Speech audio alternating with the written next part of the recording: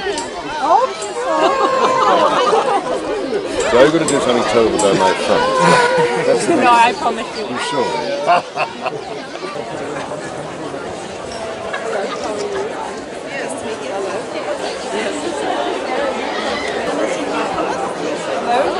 How are you? Nice to see you. Well, this is a community weaving project that started um, at the end of July to celebrate the opening of the Len Lye Centre. And we wanted to get local weavers to weave something symbolic um, that would um, demonstrate a message of peace for the community. Well, they will be weaving part of the uh, tatua, and hopefully, um, our wonderful weavers um, will demonstrate and be able to show them. Just like plaiting. There we are. Oh, that one comes back like that, I see.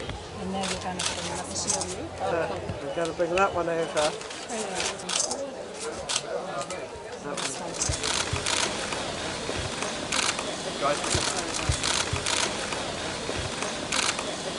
We're greeting Her Royal Highness the Duchess of Cornwall, introducing her to the new Len Lye Centre, delivering two education experiences which uh, reflect upon her dedication to childhood education.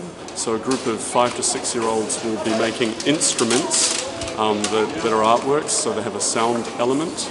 And then um, a second group of eight to ten year olds will be sketching shadows in motion, which teaches them something about the way things move in the world and then are translated into film.